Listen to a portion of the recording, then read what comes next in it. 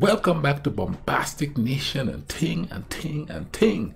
I'm Mr. Giant and I got some more vibes for you. Okay, a while back I started this series, uh, Simon Bolivar, uh, and uh, you know, lackluster interest in it, but I want to watch it.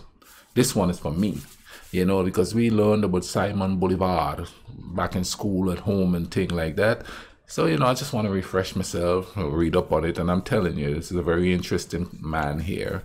So, you know, this uh this is the second episode of it. It's called Simon Bolivar, uh, Francisco de Miranda. And uh, of course, this is extra history again, giving it to us. I tell you, check them out. They got some good stuff. They tell you the history about people that you don't even know existed and the great things they've done and the bad things they've done and, and the good things they've done. You know what I mean? So go check them out.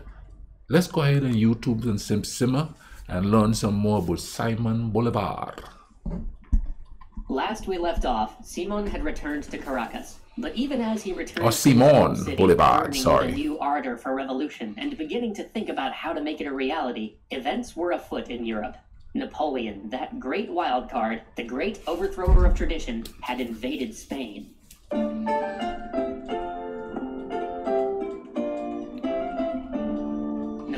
Armies, once the allies of Spain, came tearing into the Iberian Peninsula. The king abdicated. His son was forced to put aside the crown. Napoleon declared his own brother the king of Spain.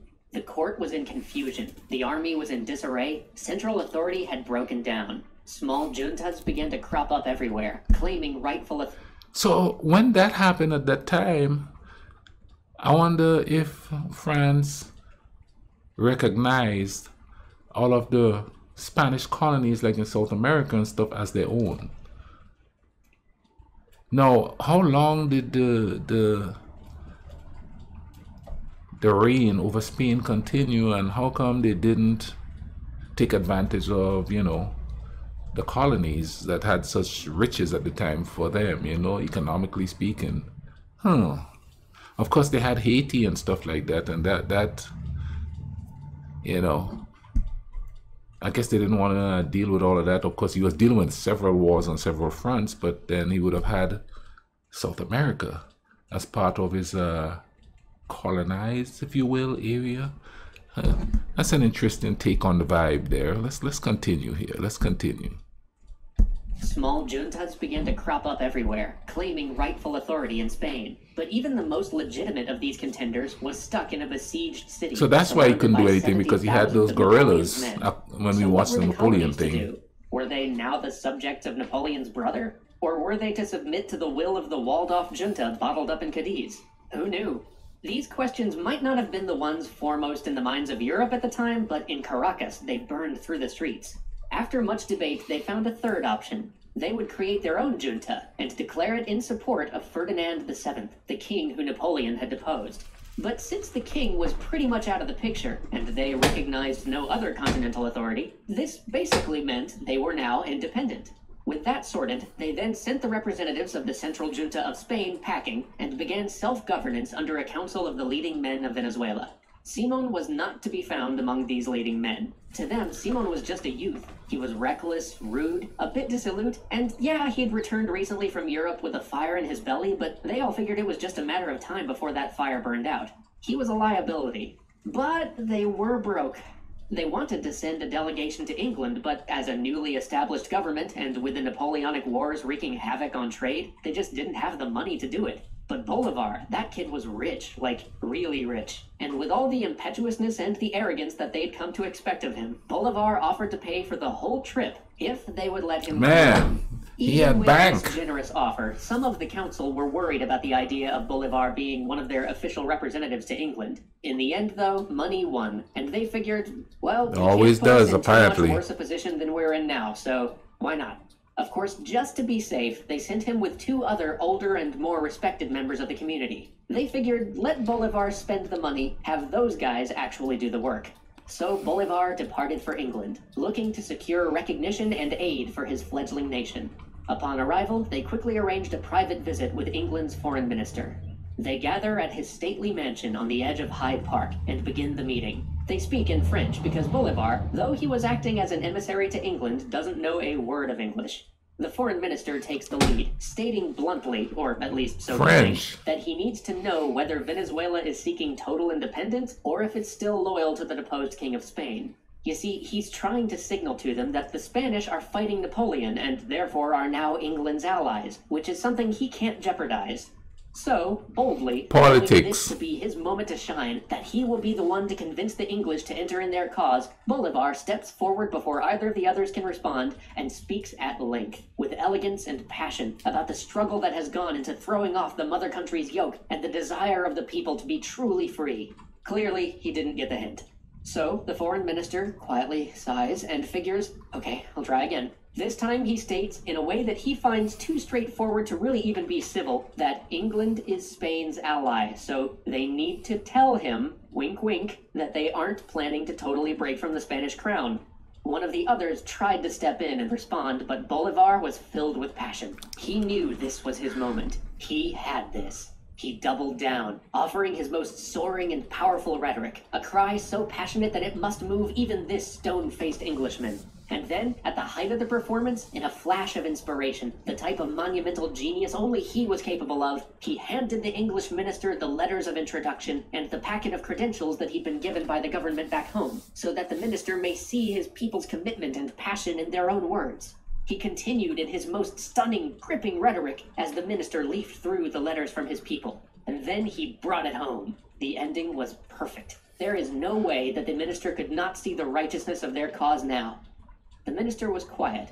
Clearly, he'd been stunned to silence by Bolivar's moving words. When he'd recovered himself enough to move, he slowly lifted a single piece of paper out of the packet and handed it across the table. In his passion, Bolivar had accidentally handed the minister all the letters from his people, including the instructions that he'd received from his government. And in those instructions was a note that basically read in bold letters Absolutely do not mention the idea of Venezuelan independence. We are not doing that. We are loyal to the king. We are in no way going to try to break our own Whatever do, do not imply that we are.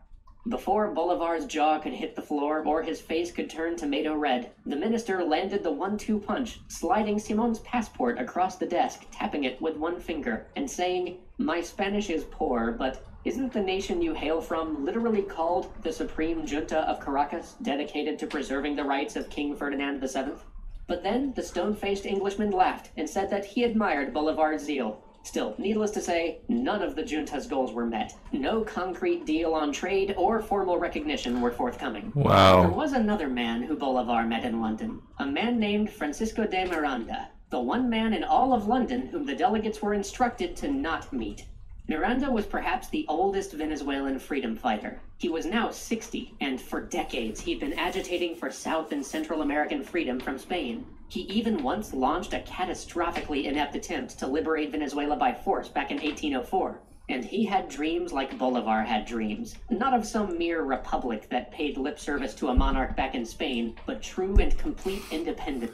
See, it's like these countries been fighting for some sort of freedom at some point in history. And well, I guess every country has, but I'm from that region. It's just crazy. I mean, you know, 1804. That was around the same time as the uh, as the Haitian Revolution. I guess that it was a time of uh, freedom fighting, kind of like the 80s. It's like it's repeating, but uh, wow, that's somebody I've never heard of before, though. So I'm glad I I watched this because I never heard of this uh, Miranda guy. Cool. I'm gonna have to look him up. A republic that paid lip service to a monarch back in Spain, but true and complete independence for his native land. He was now residing in London because after his bungled attempt to take over his country by force, he had taken refuge with the English. His house had become a meeting place for Latin Americans in London. There, Bolivar not only met much of the upper echelons of British and expat society, but he also became fast friends with Miranda himself. Soon, he convinced Miranda that he needed to return to Venezuela, that the people were waiting for him to reignite the fires of revolution. But when they did both return to Venezuela, Miranda was not greeted by a cheering crowd waiting to bestow on him the command of a newly formed republic, but rather a small group of onlookers who, for lack of anything better to do, boredly watched him get off the ship. Slightly miffed but undeterred, they soon threw themselves into politics, suborning a small political party called the Patriotic Society. and using it as a platform to run the type of political campaigns that had become a staple of London but had never been seen in the southern half of the New World. They made inroads with the mixed race peoples who had been largely ignored by the junta of rich whites. There was some ego clashing between Bolivar and Miranda, but soon all of that was overshadowed by two great events. First, a member of the newly formed Congress turned out to be a spy for the Spanish Regency and had fled in the night with important papers of state. This incident caused an uproar. Why defend the Spanish government if they were spying on and thieving from Venezuela? But this incident might have blown over if it weren't for the second piece of news that followed swiftly on its heels. Wellington had defeated another of Napoleon's armies in Spain. The Spanish government would soon truly return. This became a pivot point, one of those seminal moments in history where a decision has to be made, and make it the Venezuelans did. They finally declared themselves truly and fully independent. But this independence was an independence by rich whites for rich whites, and as soon as word of the inequities in its constitution spread, slave rebellions and counter revolution spread with it. Before long, the inexperienced and inept forces of the Republic were routed, and they turned to the only experienced soldier among them, Miranda, to lead their forces. He did so on one condition that Bolivar be stripped of his rank and not allowed to participate. What? This was totally unexpected to Bolivar and to the ruling council. Bolivar exploded in rage, but there was little he could do until a sympathetic general brought him onto his staff as an adjunct. Here he served with distinction, proving his valor and value on the battlefield. So much so that Miranda allowed him to bring news of their successes back to Caracas, commending him and recommending that his rank be restored. But always in the background, in private, he said that Bolivar fought like a guerrilla, undisciplined, with little of the strictures of military life or command. But he winning. Things soon took a turn for the worse. Spanish officers arrived on the scene and began raising and training an army of the discontent. Then an even greater tragedy struck. An earthquake of unimagined magnitude struck Caracas. Tens of thousands of people died. The financial, cultural, and political capital of the new nation was reduced to ruins. The people thought it was the punishment of God. Troops began to desert, and Bolivar, who was sent to garrison a stronghold, ended up getting fired upon by the very troops that were supposed to be guarding the fort he was to protect.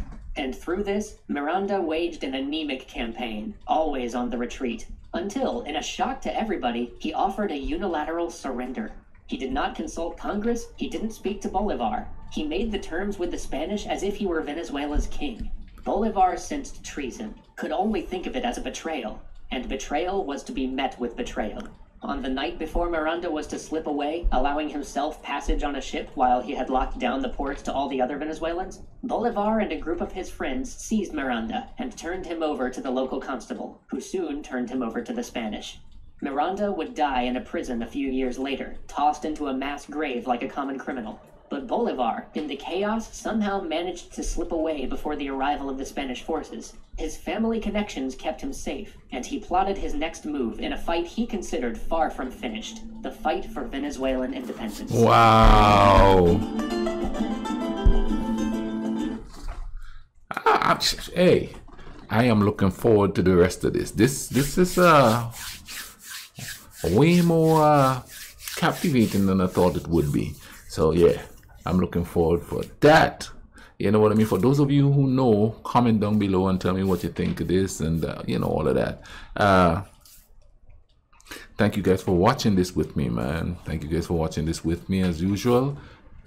Link in the description for this video check out extra history they got some cool stuff they got a lot of these uh, series on the historical figures and thing you know and uh, countries and stuff like that great stuff man great stuff in the meantime y'all take care of each other all right? Cool runnings